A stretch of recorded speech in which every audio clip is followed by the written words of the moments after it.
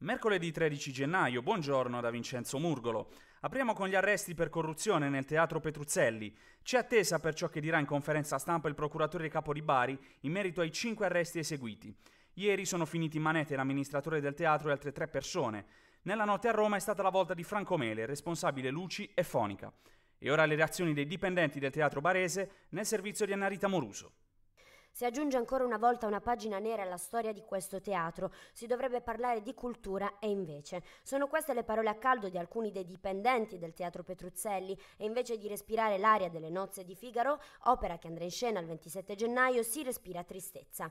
L'aria oggi è pesante, ma allo stesso tempo potrebbe costituire una rinascita, spiegano alcuni fiduciosi, altri invece si lasciano prendere dalla rabbia. La cosa più brutta è che la gente prenda tutti questi soldi, ma restano sempre impuniti. I domiciliari familiari ne sono l'esempio, hanno troppe conoscenze. Chiosa una consulente esterna. Alle tre e mezza il sovrintendente Biscardi ha indetto una riunione con il presidente della Fondazione Carofiglio e tutti i dipendenti. Sanità. Il governatore Michele Emiliano parteciperà oggi alla riunione riguardante il patto della salute per il biennio 2014-2016, presieduto dal ministro Lorenzin. Il tema sarà al centro anche di una giornata di studio che si terrà domani a Barletta. Dopo i recenti casi di mala sanità si discute circa il funzionamento delle strutture ospedaliere italiane. Graziana Capurso. Cinque donne in meno di 15 giorni hanno perso la vita in sala parto a seguito di complicazioni relative alla gravidanza o all'aborto. Da Torino a Foggia, passando per Napoli, si è acceso il dibattito sulla malasanità e l'inefficienza da parte delle strutture ospedaliere e del personale sanitario. Ma l'Istituto Superiore di Sanità ha sottolineato che si tratta di eventi casuali e non anomali rispetto ai tassi medi di mortalità materna. I cittadini però non capiscono come sia possibile morire nel 2016 di parto, c'è chi dà la colpa alla negligenza del personale, chi invece alla carenza degli ospedali. Una cosa è certa, così come è da tutelare la nascita, deve essere tutelata la morte del concepito, hanno riferito i nostri microfoni.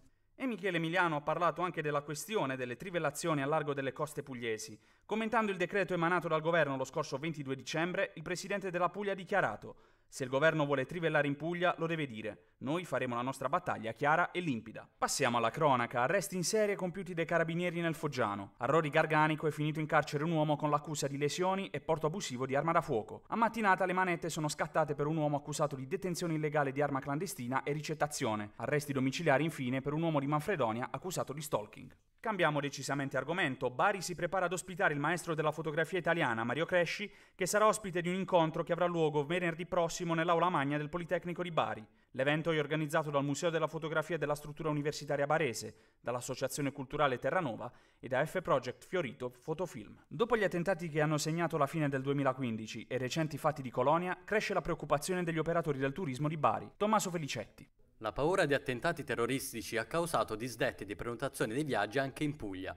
È quello che emerge dalle dichiarazioni dei titolari di agenzie viaggi di Bari. Le destinazioni più sensibili come Egitto, Turchia, Tunisia non vengono più vendute. Nel periodo natalizio alcuni clienti che avevano destinazione Bruxelles sono stati condizionati dall'allarme terrorismo in Belgio e hanno cambiato il loro viaggio su Berlino. Altre persone invece affrontano in maniera più serena i loro viaggi di relax. Il problema resta perché è una situazione difficile da gestire. Non si può creare una mappa perché la paura è ovunque, anche in località impensabili, aggiungono dalle agenzie viaggi ora impegnate a vendere mete italiane durante l'ormai vicina Pasqua. Ora lo sport, il Bari è al lavoro per preparare la sfida di venerdì sul campo dello Spezia. La partita vedrà il debutto del nuovo tecnico biancorosso Andrea Camplone. Intanto tiene banco il calciomercato. Dopo il ritorno del centrocampista Joseph Minala, si lavora per l'ingaggio del terzino brasiliano Guilherme. Viabilità, traffico regolare su strade e autostrade pugliesi. E chiudiamo con il meteo. Temperature ancora miti sulla nostra regione, ma nelle prossime ore potrebbe verificarsi un brusco calo della colonnina di mercurio, con l'insorgenza di malanni di stagione. I medici consigliano soprattutto ad anziani e bambini una dieta equilibrata e di evitare posti affollati. Grazie per l'attenzione, l'appuntamento è per la prossima edizione.